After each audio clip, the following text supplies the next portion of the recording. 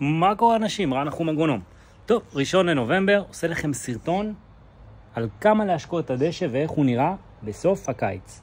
אז לפני זה רק ניתן לנו איזה ביס קטן. כמובן הסרטון הזה מצולם ביד אחת והוא לא ערוך. שיהיה לנו כוח לדרך. זה הכוח לחיים. אוקיי, דשא. דשא אל טורו, צל כבד. צל כבד, כן, דשא אל טורו רוצה 6 שעות שמש ביום לפחות, אבל הוא רוצה, זה לא אומר שהוא יקבל. אה, מזרח, מערב, הטיה לדרום, 12 בצהריים, ראשון לנובמבר, שימו לב כמה צל, צל, צל, צל, צל, ועדיין, באמת, אחד המדשאות היפות. אה, שימו לב, אזור חשוך לגמרי, גובה כיסוח 10, בסדר? לא פחות ולא יותר. נכנסים לסתיו, לא מכסחים יותר, אין מה לכסח.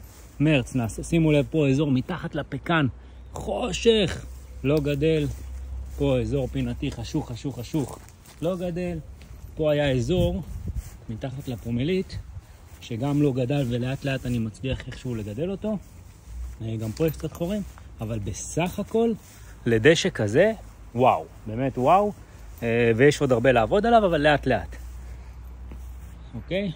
אמ, אז זהו, אנחנו בסתיו. אה, אפשר לרווח השקיה, בואו ניגש למחשב. בואו נראה כמה הוא הושקע וכמה נכוון. זה הראש מערכת המצ'וקמק שלנו, ממש מצ'וקמק. עוד מכוון לשעון קיץ, נכוון לשעון חורף. קו אחד, שלוש שעות, כל שמונה ימים. נעשה כל...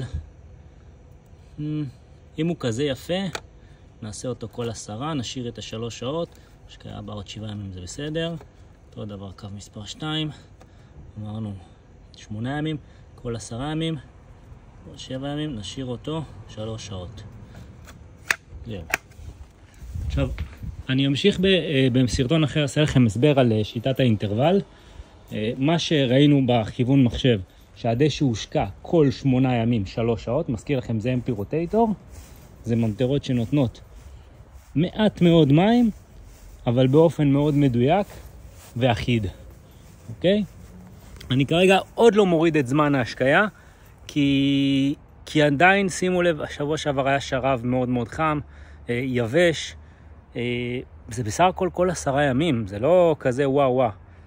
אה, זה גם גינה מאוד מאוד ותיקה, זה גינה של 30 שנה, שחלק מהממטרות משקות פה את כל הצמחים, ממש מערכת השקיה פה של הטפטוף כמעט ומבוטלת, והמון המון מהעצים והשיחים מסתמכים על ההמטרה.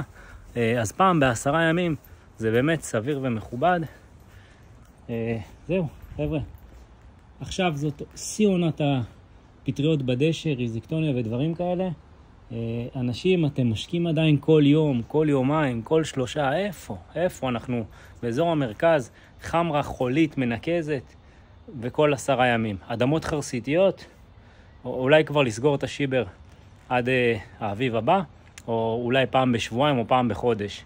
אז זהו חבר'ה, טיפ קטן לדשא, שיהיה לכם אה, חורף נעים.